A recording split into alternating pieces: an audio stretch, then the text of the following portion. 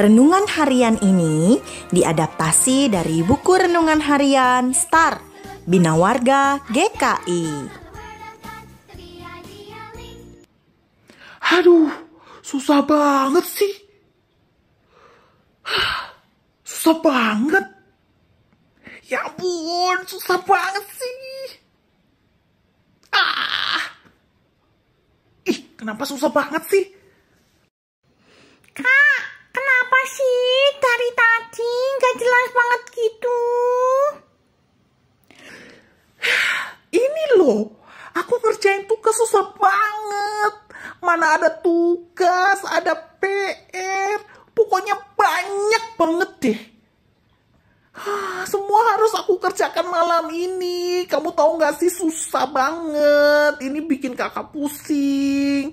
Aduh, nggak bisa deh, nggak bisa. Kakak nggak mampu. Ah, tahu ah.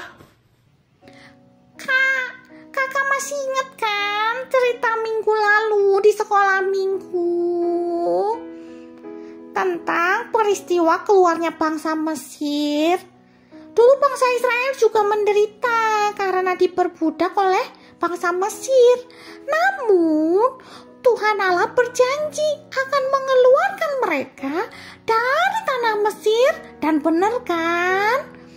Setelah tulah ke-10, bangsa Israel bisa keluar dari tanah Mesir.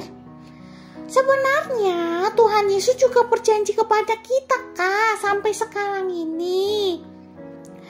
Tuhan Yesus berjanji akan selalu menolong kita jika kita ada kesulitan. Nah, aku mau tanya nih, kakak tadi sebelum belajar udah berdoa apa belum? Harusnya sebelum belajar kakak berdoa dulu kak. Jadi kakak diberi ketenangan sehingga bisa ngerjakan semua tugas-tugas kakak, semua PR-PR kakak dengan baik. Kalau kakak hatinya senang, maka semua tugas-tugas kakak itu bisa mudah kakak kerjakan. Karena Tuhan Yesus pasti menolong, Kak. Percaya deh. Nah, yuk sekarang kita berdoa dulu yuk, Kak. Tuhan Yesus, terima kasih karena sudah selalu menolong kami. Jika kami dalam kesulitan, Engkau akan selalu menolong kami.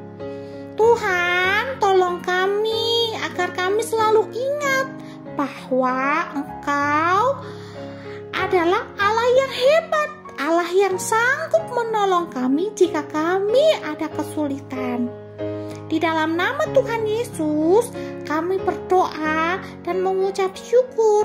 Amin. Udah kak, kerjain lagi, kakak pasti bisa.